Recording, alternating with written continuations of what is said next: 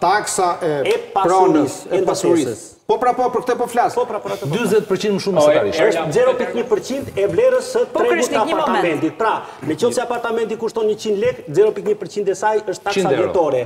Në qoftë se apartamenti kushton 200 lek, e kështu në vazhdim, është Duke e shumëzuar, pra kjo është, nuk është filozofi e madhe. Tani po flisim për Airbnb-të.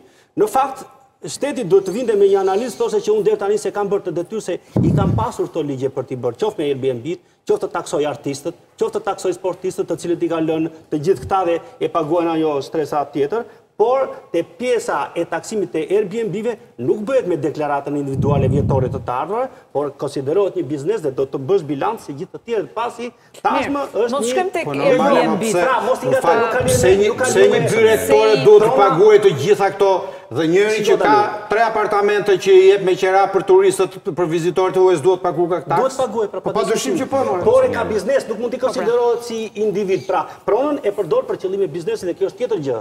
Siç e përdor çdo njeri ose çdo janë asete të tilla që janë në këtë kontekst. Kështu që ajo që do paguajnë qytetarët është vetëm taksa e pasurisë. Dhe pra, po taksa e pasurisë sepse nuk ka atë ndryshimi bombastik. U hallakatën nga të gjitha drejtimet e mundshme dhe unë s'besoj që ai që dëgjoi mori vesh se çfarë do jo. paguante dhe sa do paguante. Ndërtimi, ndërtimi ka shumë problematika, por në momentin që ndërtimi konsiderohet si ajo lopa për t'u mjelur, Këtu është problemi më i madh që qeverria në në radhë të parë pajtohem me atë ide, nuk duhet të bëjë lojën se duhet të bëjë detyrën, jo t'u thotë që u kam lënë për arsye se është pikërisht për të kontrolluar evazionin, siç do të kontrollojë evazionin karburante dhe gjithandej, dhe në momentin në momentin që bëhen këto përjashtime që u tha për oligarkët, në fakt nuk është punë oligarkësh me katër e me pesë yje, Kjo tregon dëshpërimisht që nuk vijnë investitorë të huaj ndryshe po nuk i joshëm me këto gjëra. Pra kjo po tregon atë, tregon atë ambient ekonomik shqiptar, kemi parë ne të vijnë investime të huaja, në qoftë se nuk i joshim me gjëra të tilla, u japim bonuse, pse? Se Shqipëria nuk është bërë ende gati një vend që të ketë zbatueshmëri të ligjit e ka probleme të tjera. Këta janë oligarkë pra- shqiptarë që blejnë markën, nuk është janë investitorë të huaj. Nuk është puna e oligarkëve. Në çdo në çdo është oligarkë që jo çdo gjë është oligarkë. Ka blerë markën, jo çdo gjë është oligarkë. Ka 600 vjesë të paketës të cilën nuk mund të fjalë oligarkë me fjalën sipërmarrës. Tani brenda ndërtimit ka shumë lloj kategorish. Ka ndërtues të rinj, ka ndërtues të vjetër që e dinë ata si e kanë çarë rrugën, ka edhe ndërtues që vijnë me një hop, kanë një historik të tillë që nuk e justifikojnë as me bilance, as me fitimin e mbartur, as me kreditë që merren nga banka, për arsye se ka tre katër elementë janë, dhe nga një analizë që kemi bërë, gjithë sektori i ndërtimit, njëzet e pesë për qind afërsisht të burimeve të financimit i ka të pajustifikuara në këto tre burime, pra burimet e bilancit, burimet e kreditimit, apo burime të tjera që mund të vijnë nga fonde e bashkëpunime. Unë bazohem te shifrat e statistikave, jo, jo, Nuk është, kështu si thoni ju. Impakti sot... Është një qind e dhjetë përqind që s'ke mund se... Pse mendoj unë... Po nuk... Pse mendoj unë që sot qeveria përjashton hotelin me pesë yje? Jo, jo, më argumenton të gjithë tashmë, pastaj ne... Impakti që sot jep një hotel me pesë yje në bregdetin shqiptar apo në Tiranë, është shumë shumë më i madh se sa shteti po t'i vërë këtë taksë që nuk është se këtë e fundos prapë se një pes një hotel me pesë yje që ka njëqind e njëzet dhoma që do të jetë dhjetë mijë metra katror me këtë taksë nuk është do të jetë një mijë euro në vit ose dy mijë euro në vit nuk është realisht kjo që edhe sikur t'ia vërë këtë taksë hotel me pesë yje nuk i vjen e keqja pra hotelit me pesë yje nga vënia e kësaj takse sepse është e përballueshme nuk po është kjo është mund të përjashtohet për shumë arsye se të rëndoj po, po, ke mund të përjashtohet apo është një ofertë që i bëhet investitorëve është një ofertë është Është ofertë fiskale jo e lejueshme, në fakt nuk duhen bërë diferencime, pasi të gjithë kanë të drejtën e tyre të ndihen të barabartë dhe këtu tregohet ajo pjesa se sa të aftë jemi ne të thithim investitorë. Në qoftë se ne nuk bëjmë lehtësira të tilla, ai mund të ikë shumë lehtësisht edhe me taksa më të larta në Serbi apo Maqedoni që s'kanë dhe bregdetin tonë, Dhe është problem tjetër, është diskutuar të gjithë se falën si janë sot se janë kompanisit. Janë kompani ndërkombëtare që vazhdojnë të bëjnë burime në dorë si për të paguar taksa apo më. Shtetet e fuqishme dhe të organizuara, të lutem. Në fakt se kom ta them këtu. se ka një replikë Kreshniku me gjithë dhe kanë ndërprerë fjalën. Nuk japin lehtësi fiskale, japin subvencione në ato momente ku ndihet i nevojshëm subvencioni. Lehtësitë fiskale janë dobësi e shtetit dhe janë tregues jo një organizimi të mirë të Kreshnik, të lutem. Erla, po. se unë unë i përmblodha të gjithë paketën ligjore për efekt të kohës, jo sepse kam dëshirë që t'i ngatërroj gjërat.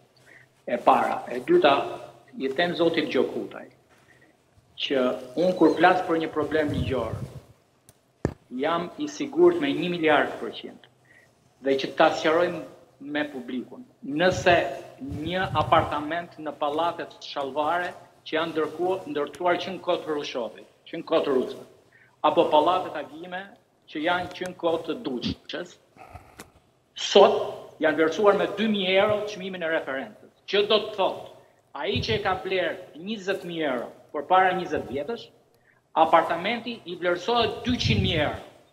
Edhe quhet e ardhur. Ka jetuar njëzet vjet në këtë apartament dhe nëse e shet sot që ta kuptojmë apartamentin që e ka blerë para njëzet vitesh është me çfarëdo çmimi që ta shesi. Është i përjashtuar. Çmimi i referencës është.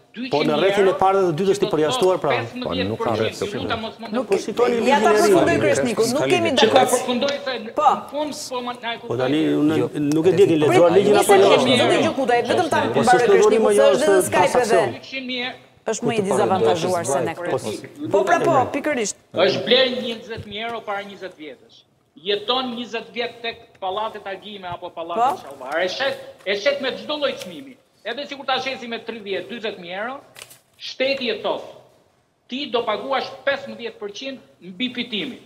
Fitimi është njëqind e tetëdhjetë mijë euro. Pra, me çdo çmim që ta shesësh, ta llogarit dyqind mijë euro.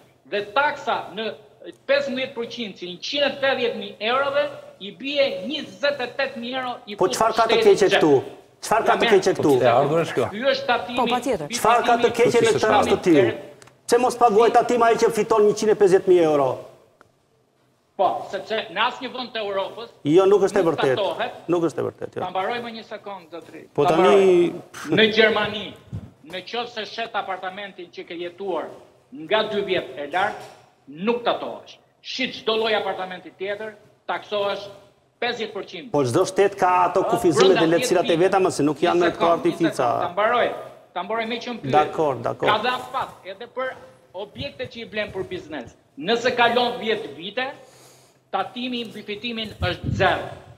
Nuk mundet shteti të mbjellë të vjelë para nga ajri.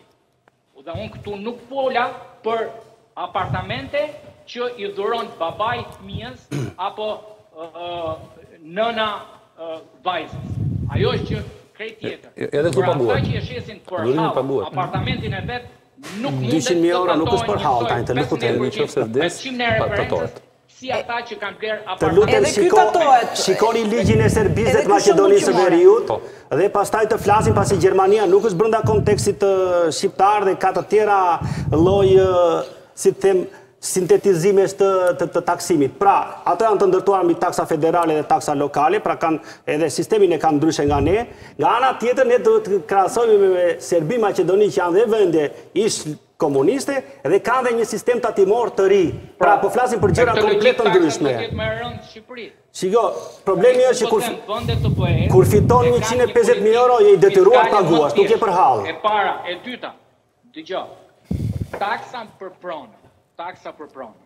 e cila ka qenë zero deri dje, është rritur gama e objekteve që lidhet me objektet e fermerëve në fshat, si mundet që tavani maksimal të jetë për fermerët në fshatra, për vreshtat, për mullarët, për stanet, për stallat, ë?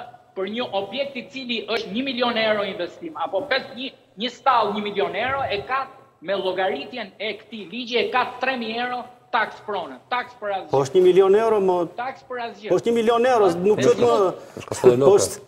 Po ç'rëndësi ka qa fut brenda? Mirë, Kreshnik. Po, po mirë më 10 milionë. Përfundoje Kreshnik se duhet të shkojmë në reklama. Të lutem. Pra, pra, shkelet e drejta e njeriut si mundet, si mundet mos bësh një studim për minimumin jetik, ë, dhe të vendosësh standardin e taksës pronës, Njësoj me vendet e Bashkimit Evropian. Dakord, tjetër gjë kjo. Dakord, kjo është tjetër gjë. Vlen për t'u diskutuar kjo që sapo the Kreshnik. Pikërisht pra, dhe vlen për t'u diskutuar. Shkojmë në një hapësirë publicitare Arlind pas reklamave. Ta jap fjalën. Publicitet.